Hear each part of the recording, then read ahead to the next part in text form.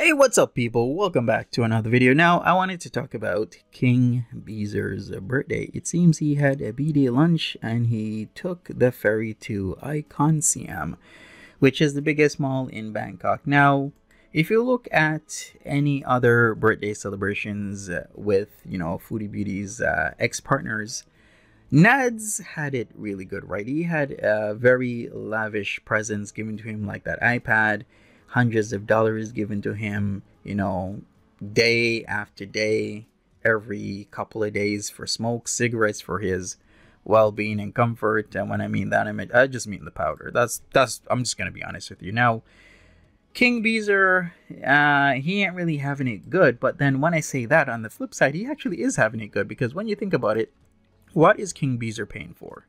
Is he paying for the beachside condo? Nope. Foodie Beauty is paying for that. Is he paying for the SUV in Kuwait? Nope. Foodie Beauty is paying for that. Is he paying for this Thailand trip and the hotel that they're held up in? Nope. Foodie Beauty is paying for that. So I can say, okay, maybe he didn't have the best birthday. He had a B-day lunch at, of course, the poutine place that they went to previously, which is Bangkok Poutine, which is a Canadian restaurant. Once again, 4.7 out of 5 stars, which is amazing.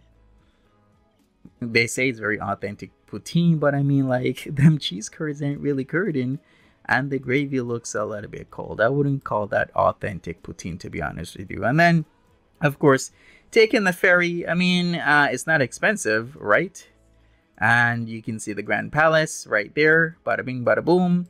And then it takes you to Icon Siam, and um, this is this seems like a vlog that is very minimalistic in terms of effort as well as money. Not that you need a lot of money to make a very good blog but i'm just saying usually or you think to or expect that based on what she said a year ago about how she will be pampered and in a very lavish lifestyle that this guy would be able to provide something more than taking the ferry to Icon Siam, maybe taking the ferry to Icon Siam and then going to the Gucci store, going to Hermes, not Hermes, Hermes, and other things. But it's not like that. Like reality sets in, right? Going to the Louis Vuitton store, etc., etc., etc.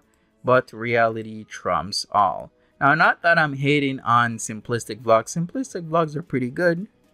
I mean, as long as you make a, a vlog good, you know, the, the visuals match the music, the tone, the setting, uh, the feeling that you get from it. But that is not something that Foodie Beauty is giving off when she when she makes these vlogs. Like these vlogs are very low bar, low low effort, and it tells. Like look at that Bottega uh, Veneta, very nice designer I'm sure there's tons probably have uh, they already have Louis Vuitton, they they already have Gucci, they they probably have anything and everything in this biggest mall in Thailand. Come on, where you can not only sail into, but you can arrive by car. Like that mall is huge. Look at that. That is incredible. But hey, that's neither here or there. All I want to say is, hey, King Beezer might have not having it the great, having like a lavish present, or maybe she did. Maybe she just didn't mention it in this vlog. Maybe she will do a live stream or a video, be like, hey, here is your presents, King Beezer. You never know. Um, it could be done. I mean, of course. But as it stands right now, it seems Nadz had it the best and whatnot. But uh, we shall see. But with that said, once again, it's not like King Beezer is having it bad. Like the guy is being pampered. Anyways, uh, stay tuned for a, another live stream from me. We got a lot to talk about. And uh, Foodie Beauty is still stuck in Thailand waiting for her visa application to go through. Whether she overstayed her welcome in Kuwait, being there for six months, I have no idea, but there's speculation on that. Or maybe she successfully had gotten her application renewed while inside the country. I don't know.